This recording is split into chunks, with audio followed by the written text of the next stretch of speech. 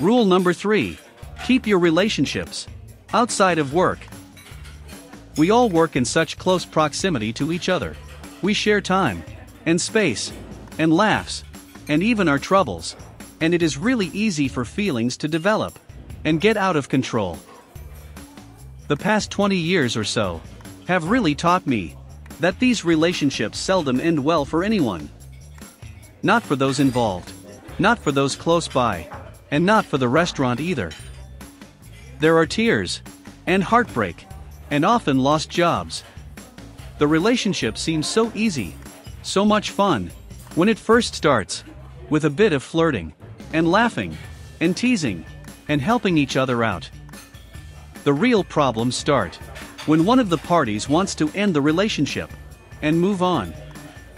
Now the jealousy, the anger, and the tears start, and almost everyone in the restaurant is dragged into it, forced to take sides, or just affected by the lack of productivity of those directly affected by the broken romance.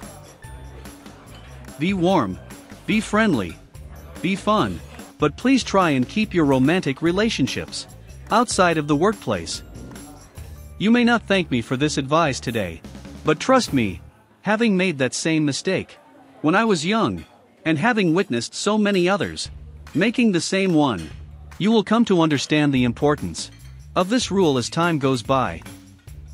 A reminder that rule number three is keep your relationships outside of work.